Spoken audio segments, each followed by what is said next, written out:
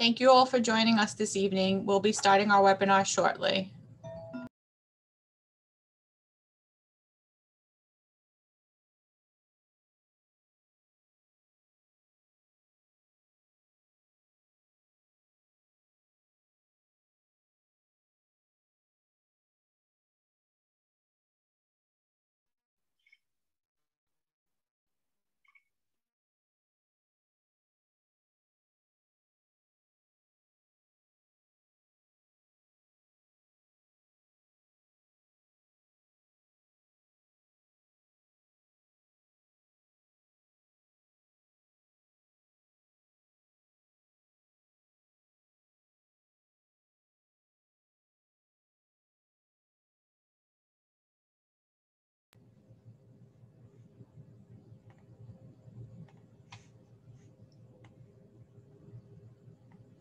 I want to welcome everybody for joining us. My name is Jacqueline Phyllis, and I'm the Executive Director of the YMCA's Counseling Service. Tonight, we're thrilled to be partnering with Rank the Vote for this webinar series. For the past several years, the Y has been promoting civic participation as a way that people can strengthen their communities. The 2021 elections will have a tremendous impact on the future of New York City, and the Y is committed to helping prepare our communities to take part. Trustworthy, nonpartisan information is essential to helping New Yorkers exercise their right to vote. In recent years, primary elections have played a huge role in determining who gets into office in New York City. New York is now using ranked choice voting for many city races in primary and special elections. This year, the primaries will take place on June 22nd, with early voting from June 12th to June 20th and we want voters to be informed and be ready. To tell you all about ranked choice voting, we have Evan Mastron Mastroniardi, sorry if I messed that up, Evan, from Rank the Vote New York City. Founded in 2019 to bring ranked choice voting to New York City, the organization now focuses on educating voters, candidates, and community groups on the changes to our local elections in 2021. Rank the Vote New York City is currently partnering with the Y to lead five webinars, including three in different languages on ranked choice voting. I encourage people to please use the Q&A function to submit questions if they come up. And I want to thank Evan again so much for being here. Evan, I'm turning it over to you. Okay, thank you both. Thank you, Jacqueline. Thank you, Gretchen, both for having me, allowing me to have this opportunity on behalf of Rank the Vote NYC to educate communities, communities in Staten Island, communities across New York City. Uh, I am a Bronx organizer, but I like to organize on behalf of everyone here to make sure that we will be engaged in this new process. So I'm going to share and begin the presentation which will be about 10, 15 minutes. And then I am very happy to answer any questions. So to begin, I'm going to reintroduce our organization. This is Rank the Vote NYC, and this is voter training. Let's do a quick recap. How did we get here? So in 2009, there was a costly runoff election for public advocate and controller. This prompted a debate prompted a debate because there was low turnout and it, it created an environment where people can elect representatives even though the majority of the community did not support that person. We also wanted more people being engaged. In 2010, Councilmember Gale Brewer, who is now the borough president, introduced the first idea for ranked choice bill. This went to a charter revision, almost took a full decade for this idea to be explored. 2019, we, New Yorkers, voted for this as a referendum. So if anyone ever asks you, well, how did we get this? You say, we chose it. New York chose it. And if you didn't want it, or if you want to vote for referendums in the future, this is why civic engagement is important because changes do happen. And in 2021, this year, first RCV elections. So why? Conjunction of robust campaign finance, implementation term limits, diverse candidates, we don't want people splitting the vote, meaning that there's two people who maybe you would like to vote for, and then a third candidate comes in and gets the highest percentage because the two candidates who the people really would have preferred ended up splitting the top percentages. That doesn't happen anymore. And we'll get into that more later. But in the past, a candidate could have won with, let's say, 20% of the vote. That means the majority of the constituency of the community did not vote for that person. That's a plurality, not a majority, not a mandate. That's not what we want. So starting this year in primaries and special elections for city council, borough president, public advocate, comptroller, and mayor, you can rank your vote. Runoffs are eliminated, and candidates now need 50% plus one of the vote or a majority to win. There are special instances where it's just the highest percent, but for the vast majority of cases where this has been implemented, there has always been a majority winner.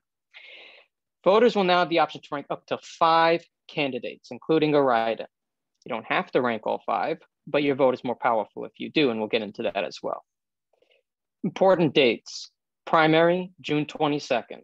Tell everybody you know, if they don't know there's election, they don't know when the election is, June 22nd, 6 a.m. to 9 p.m. Last day to register to vote, well, unfortunately it did pass. Last day to change your address, though, is tomorrow. So if you need to change your address and you're already registered to vote, it's time to get on it quick. Early voting runs from June 12th to June 20th. So that's also coming up. Now, this is a beginning guide to what the ballot will look like. We'll get into a more detailed version later. But you see, you have your candidates in your rows, and in the columns, you have the ranks. So it's one bubble per rank per column, one candidate per rank per column. You can't have multiple first choices and don't rank the same candidate for multiple ranks. A different candidate per ranking. It's the best way I think to explain it to people. If you want to explain uh, how to fill out your ballot, which I believe is one of the most important things when we are explaining to our neighbors about ranked choice voting, how to fill in the ballot. But how do you look at the ballot? Well, first candidate, it can be the one you love. It could be the one that you just simply aligns with your issues the most.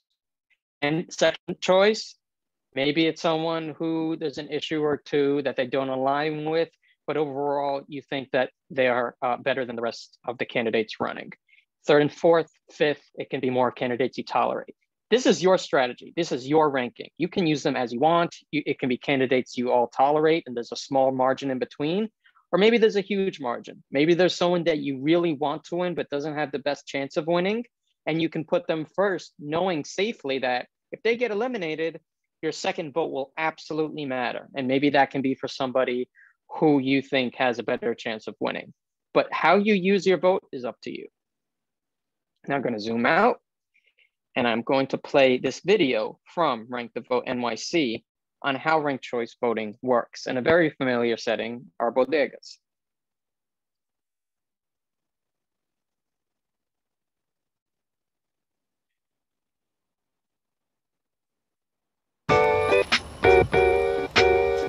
I'm Mahir, and welcome to my bodega. As you may know, New York City has a new way to vote in special and primary elections. So, how does ranked choice voting work? The next time you vote in a city election, instead of choosing just one candidate, you can rank them all from your first choice to your fifth. Here's how it works. Let's say my bodega is picking its featured snack of the month. So many choices! Which one should I feature? This customer ranks Parker Pretzels as her top favorite. She also ranks her second choice, Mr. Chips, third choice, Chi-Chi Chicharrones, fourth choice, Gladys Gummies, and fifth choice, Poppy Popcorn. Other customers rank their choices as well.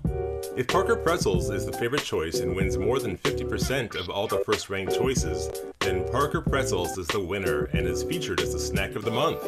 However, if no snack gets more than 50%, then the least popular snack is eliminated. Sorry, Figgy Bars. The remaining second ranked choices from customers who chose Figgy Bars are redistributed. So if customers chose chips and chicharrones as second choices, then those two snacks receive additional votes. The new totals are counted and the process repeats until there's a winner of the final two. Congrats, Poppy Popcorn, you're the bodega snack favorite. Back in the real world, before it's time to vote for humans, visit rankthevotenyc.org for more information. Thank you, New York City. for voting and for making these special and primary elections your elections. Okay, thank you for watching our video. We now are going to move on to how the ballot will actually look. Uh, one second. There we go. So this is more like what you will be seeing on election day. You'll have different squares representing different positions, but there'll be four of the five that are ranked positions. So it's likely that a fifth position may be on the back on a separate paper. Remember to always turn over your ballot because there will be five ranked choice positions. This one has mayor, public advocate, controller, council member. There is also borough president, which will also be ranked choice voting. In addition to that, you will likely have papers that are state representative. So this is not on a state level. Ranked choice voting is for primaries and special elections in municipal level positions, not state level positions, which does happen to include district attorney. District attorney will not be ranked choice voting. So again, let's look into how you fill in this ballot. You need to go one bubble per column and per row. The way I look at it, one candidate per rank. You can't have a candidate for all the ranks, the same candidate for all the ranks, and you can't have multiple candidates for the same rank. It's one candidate per rank, a different candidate per rank. So counting rounds. This is a new subject. We didn't have counting rounds before. Counting rounds will be what kicks in if no candidate receives enough first choice votes, meaning no candidate gets a majority of the first place votes. No candidate gets a majority of the first place votes, it goes to rounds. If someone does get a majority of the first place votes, what will likely happen on election night is someone will declare victory. The media may declare it. It won't be certified yet because we need at least a week for the BOE, the Board of Elections, to open absentee ballots, affidavit ballots, and even longer for military ballots.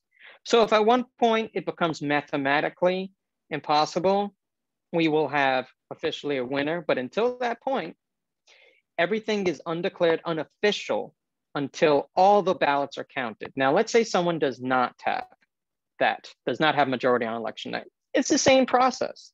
The BOE is not certifying an election because ballots need to be opened. The only difference being in this case, the ballots being open can affect the candidate until they get a majority. Now the rounds will begin. So if a candidate got 40% on election night, they can't declare victory yet because we need to wait for all of the votes to be counted, which can include votes that put other candidates ahead of them.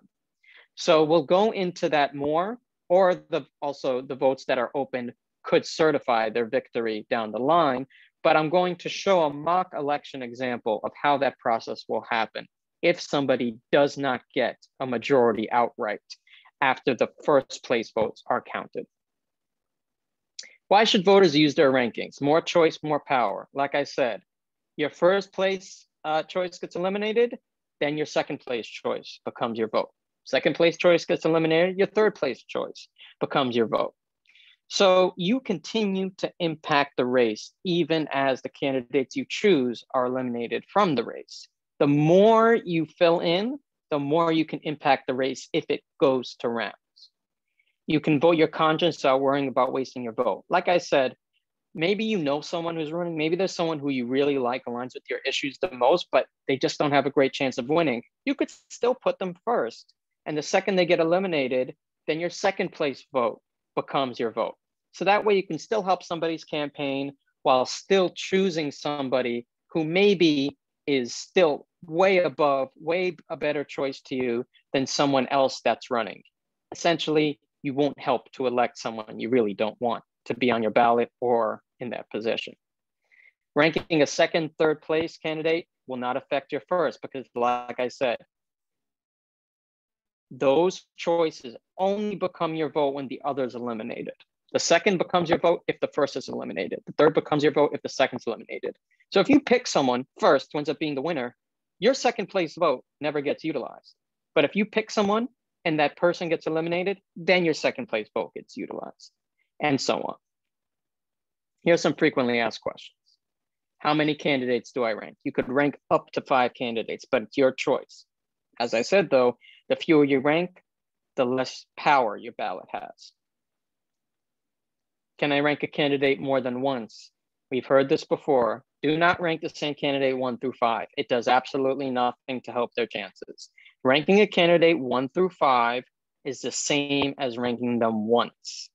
So, because the second they get eliminated, they get eliminated from all, all and multiple rankings are not like multiple votes. Multiple rankings would be like giving you an overvote, which the BOE would never allow. An overvote is also if you were to rank multiple candidates for the same rank, as in multiple first, multiple seconds, etc. That will not allow the machines, the BOE will not allow that because it is an overvote. So again, rank a different candidate per rank. Does it hurt your candidates? Like I said, the rankings do not impact each other. One is eliminated, the next becomes your vote, and so on. So let's say you only have a little bit of time. Here's the core message. Who, what, when, where, why. So what, ranked choice voting, vote up to five people. When, now. Who, mayor, controller, public advocate, borough president, city council. Where, only municipal elections only here in NYC. And why? You won't be wasting your vote because anybody who you pick who gets eliminated, then it just goes to your next vote. It wasn't a waste. You won't, ex- and because of that, you won't accidentally help someone else to win and you won't split the vote. And the idea behind ranked choice voting is someone will be elected with a majority. This is some ways to contact us. Rank the Vote NYC has all these materials, including the presentations. And you could also email us, follow us on Instagram. Uh, my email is bronxorganizer at rankthevoteny.org as well, if you want to contact me directly. And now I am going to stop share and I am going to share a mock election.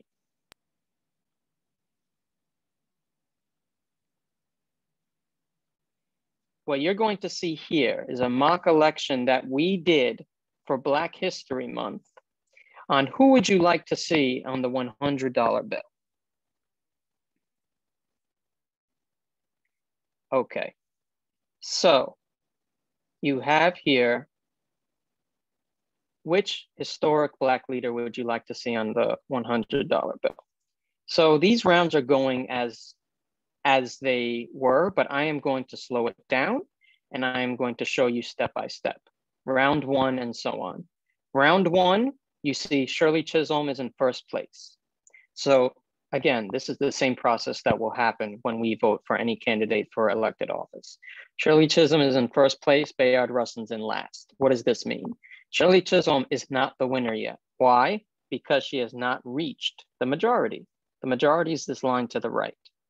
This line to the right here represents who, what, what the, the threshold that the candidate needs to pass to win. Bayard Rustin, he only has 15 and he is at the bottom. So when we go to the next round, he's eliminated. But what happens when we eliminate Bayard Rustin? His votes get redistributed. Minus 15, that 15 then gets redistributed to the remaining candidates. So what you'll see here is certain candidates increase. You see Frederick Douglass, oh, this is new. It actually has the pluses. So you could see how much each candidate gained by the previous candidate being eliminated. So anybody who chose Bayard Rustin first, now their second place choice becomes their vote. And those second place choices are being distributed across the remaining candidates in the race. So someone who picked him first picked Shirley Chisholm second. In fact, five people picked Bayard Rustin first and Shirley Chisholm second. So when he got eliminated, the votes went to her and so on. And we're going to continue this process until there's two left. Now, a question I got, I'm going to stop at three, but a question I got is well, what if someone wins before? What if it only takes three rounds? Then we do have a winner. But we will continue the rounds to see the true intention of the voters. Because maybe someone won initially with round three, 51% of the vote. That's great, they won. But by round seven, eight, until there's two candidates left, they actually have like 70% of the vote. That might happen, that might not. But the point is to be able to show the true intent of the voters. So we go from here, where we have John Lewis, Martin Luther King, and Shirley Chisholm. That's three. No one has a majority yet. We're going to go to the next round. Everyone who voted John Lewis first is about to have their votes redistributed. And enough had it distributed to Shirley Chisholm that she now passed the threshold to win and won the election. She has a majority of the votes. So I'm going to stop my share there and open up for any questions. I'm also going to charge my computer, make sure it doesn't die during this. Um, but I am open to questions now. So Evan, it doesn't look like we have any questions um, so far this evening. Thank you again, Evan, for all the information you've shared with us tonight. And thank you to everyone who was able to join us for your interest in ranked choice voting. We really hope that we can count on you to make a voting plan for June, June 22nd, just a reminder. And please help to spread the word to others about ranked choice voting and the importance of the primaries on June 22nd. Um, for more information on ranked choice voting and for other voting resources, or to see a recording of tonight's webinar, please visit us at ymcanyc.org backslash events backslash voting. And you can also visit Rank the, Rank the Vote New York City at rankthevotenyc.org. Thank you again to everybody. And Evan, thank you so much for being with us tonight. Thank you for having me.